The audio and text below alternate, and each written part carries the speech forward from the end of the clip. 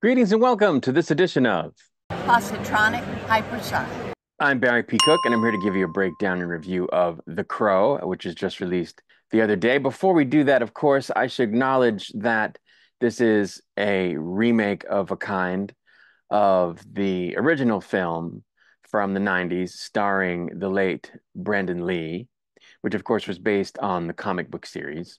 I should also note that that's a film that I saw once and remember liking and thinking was a pretty cool movie, but I don't have any particularly high reverence for it like others seem to. And I never read the comics. So that's where I come from as it concerns this IP going into this film.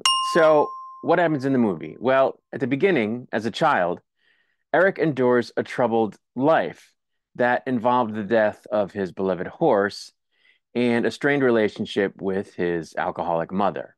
Decades later, Eric's living in an institution for troubled youth where he meets and befriends a young woman named Shelley, who had taken refuge at this center by deliberately getting caught by the cops with drugs in order to escape Rogue or Reg, I'm not sure how you say his name, a crime lord who is after her because of a video that she has implicating him in some crimes. Eric and Shelley soon find themselves very much enamored with each other. When Marion, Reg's right hand, arrives at the institution looking for Shelley, at which point Eric and Shelley escape the facility and at the same time the clutches of Rogue or Reg, the villain. They then further bond over their love of music and fall fast in love, Romeo and Juliet style, and spend a certain number of weeks just enjoying each other and their romance. One night, however, Reg's men find and murder them both. Eric then finds himself in the afterlife in a representation of a warehouse full of crows when Kronos, a spirit guide, explains to him that he'll have to kill Rogue and everyone else in his organization involved in killing Shelley in order to get Shelley back. Eric is then revived and assisted by a crow in hunting down and killing Reg's men. He later finds out by looking at the video on Shelley's phone that Reg had taken possession of Shelley's mind in the past in order to, to kill another woman, which she did. And so this is the video that Reg was after. At this point, Eric apparently experiences some doubt about Shelley, about who she really is. And because of this, he's told by Kronos that she's going to hell and that even if he kills everybody involved now, he can't have her back. Eric's love for Shelley being stronger than his own will to live, Eric asks Kronos if he can take her place in hell if he completes the mission. He's told that he can, and so he makes that deal with the crow. He's going to finish the mission, kill all these people, and Shelley is going to be resurrected and saved from going to hell, but he is not going to be able to save himself. So she will live on and have a life, but he will not. So he heads to an opera house where Reg's men are all standing guard as two other of Rogue's associates watch the opera, and he kills all of them. He kills all the guards, all the men, and the two associates. He then goes to Rogue's country estate, finds him there, and of course, kills him enabling him to rescue Shelley from the darkest depths. And she comes back to life, where they briefly reunite. And he explains to her that he isn't going to be able to be with her, but that she's going to go on living. As the movie ends, Eric does a voiceover about how their love will live on in her and everything that she does. And that even though he can't be with her, that's almost enough for him to be okay and that's where the movie ends. So, you know, this movie, when the trailer first came out, got a lot of crap and a lot of hate from the usual suspects, who it would seem thought that this was going to be some kind of woke version of The Crow because they think everything new that's coming out, especially if it's a revamped version of something else, is going to be all woked up. And you know, they hated on the look of the character, you know, how Skarsgård looks as the crow. because I guess they thought he looked like an emo beta guy or some stupid thing. Or he looked kind of girly. Uh, I don't know. It, it didn't make any sense to me. I think, you know, it's 2024, not 1994. And the character's going to look different. We have different aesthetics. So I didn't understand that. And I never understand how they can hate on a movie before it comes out. From the trailer, this movie seemed perfectly fine. There didn't seem to be anything in the trailer to me that said it was going to be woke or lame or bad or anything negative. So I don't know where that comes from, except for, you know, their standard playbook of shitting on everything new, everything that comes out. Myself, I just went into it with an open mind like I do everything else, even things that I have reservations of my own about. And my overall reaction to this movie is that it's okay.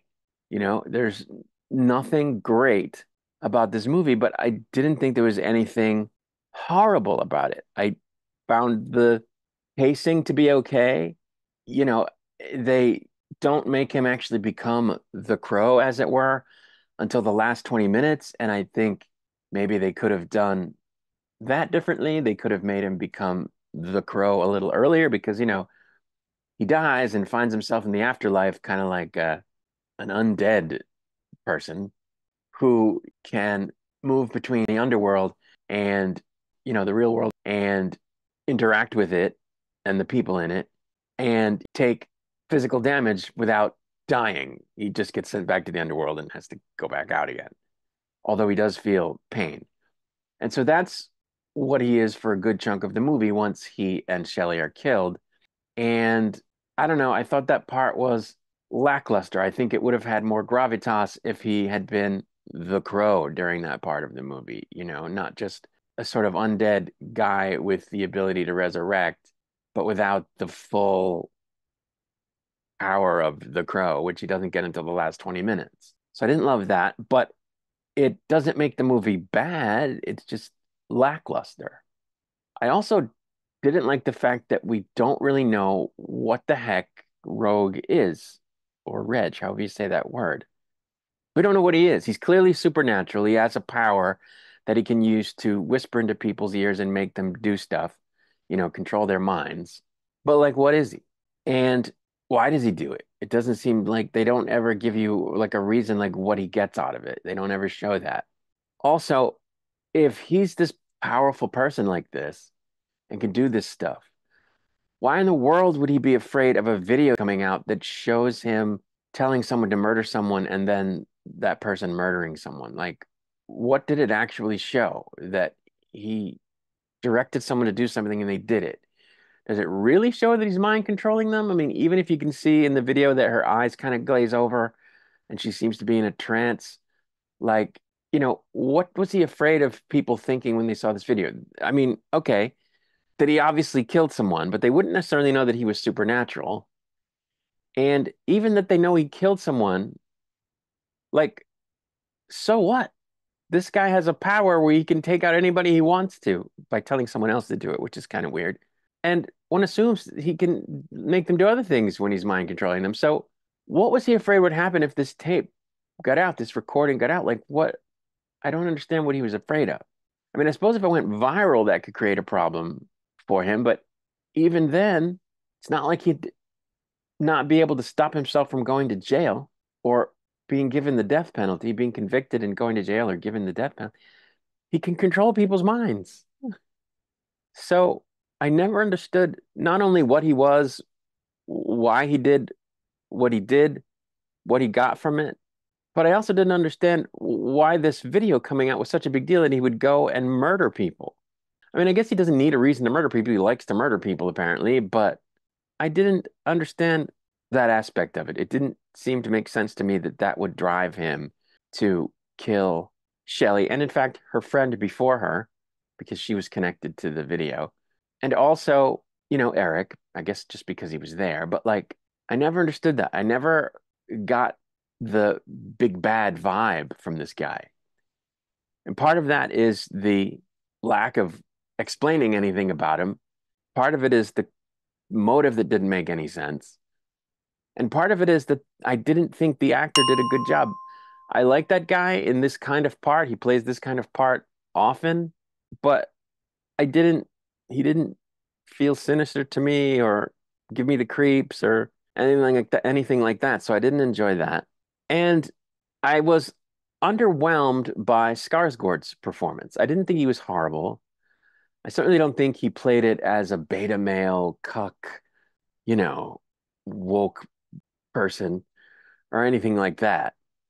But I was underwhelmed by the performance. I didn't think he had a great deal of gravitas. It was just very bland, his performance, I thought. Until the last 20 minutes where he starts really kicking ass, and I thought, oh, that was pretty cool. And the final confrontation is very cool. And, you know, I find stories of self sacrifice for the cause of love to be compelling. I always like those. So I liked that aspect of it. Of course, that harkens back to the original. I liked the performance of the actress who played Shelley. But another thing that I didn't get, really and truly, was how they fell in love so deeply, so fast. I don't think that the groundwork was laid for that at any point. I didn't see really where they shared enough of themselves with each other at the beginning for them to develop those super, super deep feelings for each other. It just kind of came out of nowhere. And so it isn't so much that I didn't buy it because that can happen, but I didn't feel it. I wasn't feeling it. So I don't know. That didn't thrill me.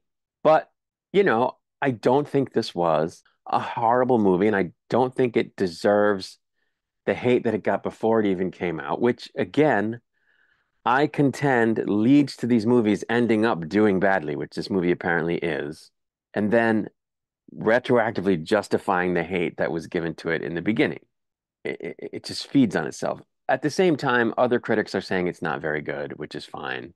But I don't know. Even there, I don't think that it deserves to be scored as low as it's getting scored. I think it was an okay middle of the road film with a final 20 minutes that's pretty darn good. And I guess I would give it a three. I think it's a three, just about out of five. So, you know, don't run out to see it. Wait till it comes on streaming or, you know, home video or whatever. But I think it's worth a watch. It's just not any great shakes. At the same time, though, it's not this terrible, awful, horrible film that the usual suspect made it out to be just based on the trailer and production stills. So there you go. That's all I have to say. I'm going to get out of here before I start repeating myself. I'll be back with another video soon. Until I return, I wish you peace and long life.